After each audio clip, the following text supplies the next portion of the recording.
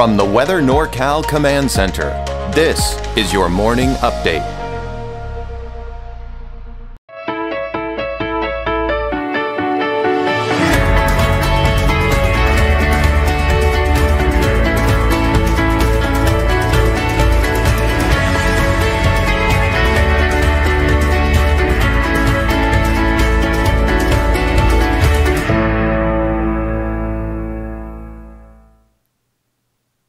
Well, usually after a big storm system that passes through, heavy snow in the mountains, heavy rain elsewhere in the, in the lower elevations, I like to see how we're doing so far for the season.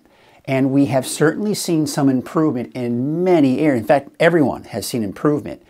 The thing is, we're still below normal for the season in many locations, such as Redding at the airport, 12.58. The normal is 14.52, and look where we were last year at this point. We're certainly doing a lot better at that point. But you know what? 87% is not bad. We have to remember we've still got the rest of this month, February, March, April, and even if you want to include May in there as well. But there you can see, looking at Eureka, we have climbed above 100% there at 106%, not too far from where we were at this point last year.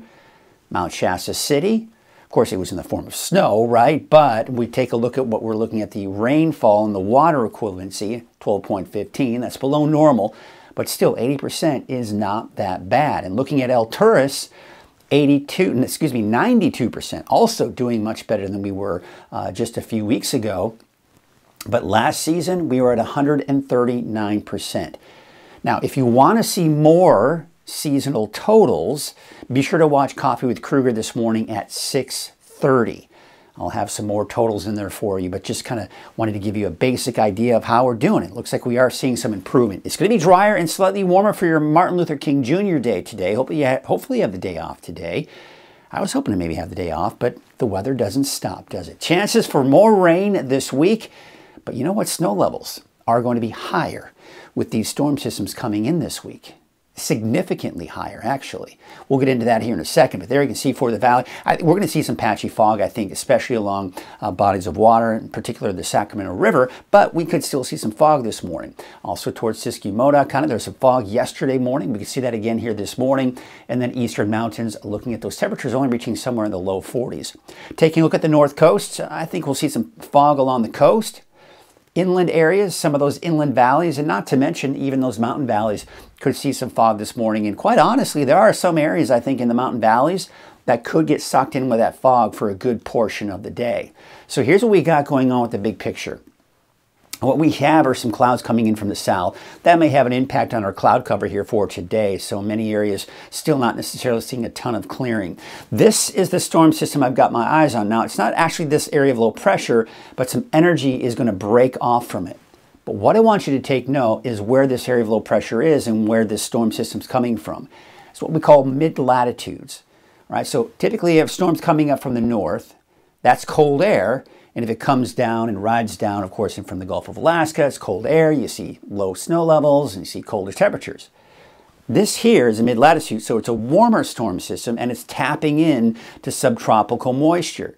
So as all of this energy moves in our direction, it's warmer in nature and as a result, you know, we see the rain, but we also see high snow levels as a result. So let's take a look at Futurecast and you can kind of see what's going on today. Yeah, we're going to see uh, mainly sunny skies here. A lot of those clouds I was talking about, they're going to be mainly down to our south, but some of those can kind of filter up in the form of some high clouds throughout the afternoon today. Take you into your Tuesday. Now in the morning, showers light to start off for the coast.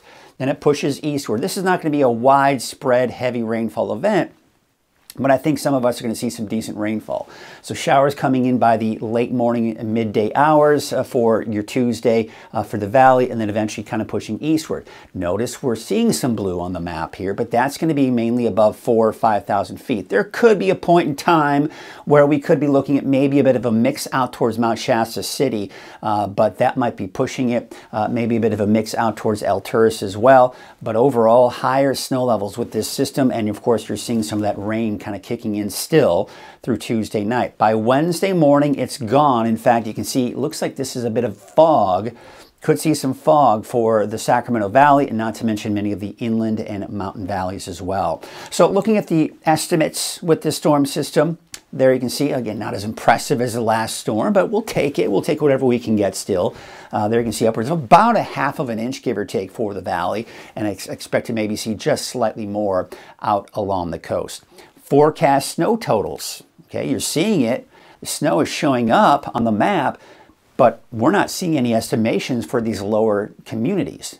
Mount Shasta, Alturas, Chester, right? Because it's going to be mainly in the form of maybe rain in a rain snow mix. And even if we do see anything, it's going to be very light accumulation because, once again, when you have support for those higher snow levels, it's hard for us to see that accumulation in some of the lowest levels of those snow levels, right? So, just something to kind of bear in mind. So, we look at Futurecast long range, and again, you see where the storms are coming from? They're coming in from the mid latitudes. They're tapping in that subtropical moisture that comes up to our region. We get the rain, that's great, we'll take it, but it just doesn't bring much in the way of snow for those lower elevations. Now, of course, the Sierra is going to get some snow and you know, above five, six, seven thousand feet, but for us here in Northern California, again, you're going to have to go mainly above 5,000 feet with these storm systems before you start seeing any significant snow. And just kind of give you an idea, this is all that subtropical moisture. You see how these storms are just kind of pushing eastward. They're tapping into that subtropical moisture one after another as we do go into this weekend. And of course, we take you into early next week as well. Of course, that gets pushed down to the south, but you get the idea. These are warmer storm systems coming in. But the good news is, yes, we've got chances of seeing precipitation. The darker shade of blue indicates that we have a good chance, excuse green, not blue. Am I colorblind? No that's blue. What I'm wearing is blue. This is green. But if we see the darker shades of green, what that indicates is that there's a very good chance that we could be looking at above normal rainfall. So yeah, some good rainfall heading our way in the long range, but look at this. The entire western United States is under this warmer air mass, and that's going to help to keep those snow levels higher for us. Here's your wave heights for today. Well, not that bad. Maybe head, head out on that small vessel should be okay for it. But look at this with approaching storm system on Tuesday.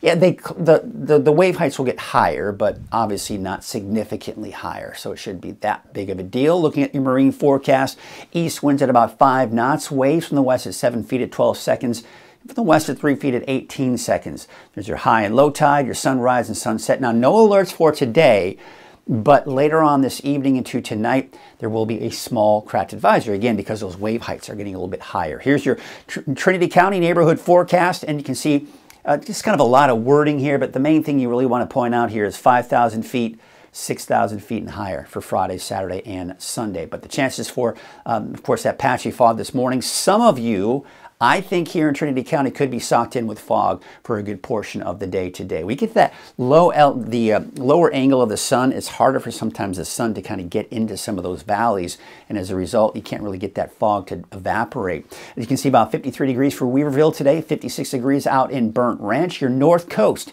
neighborhood forecast. Morning fog, there you can, of course, see the showers. A few showers Wednesday, just lingering. I, don't think Wednesday or Thursday you're going to see much in the way of rain. It's Friday going into the weekend that we will be looking at more rain entering the picture. Take you up north, 59 degrees for Gasquet, Smith River 58, 55 for Crescent City and Trinidad, a high of about 57 degrees. And your Siskiyou County neighborhood forecast, temperatures mainly in the upper 30s, low 40s.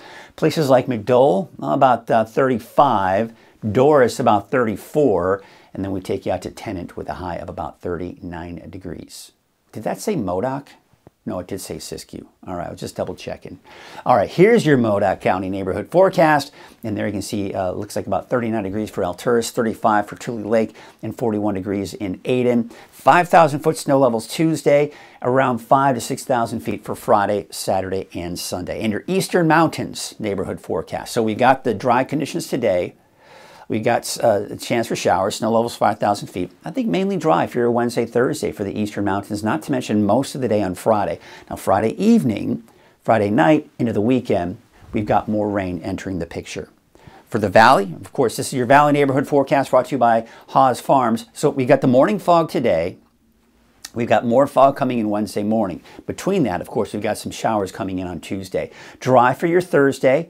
Now, I've got showers in there for Friday, but it's going to be late in the day. I'll have to kind of kind of mention that here. And then, of course, that chance for showers will continue here going into the weekend. I take you up north. There you can see Redding about 59 degrees for that daytime. I think some of us will see that 60 degree mark today, especially with that added sunshine. Should make for a, a pretty pleasant day.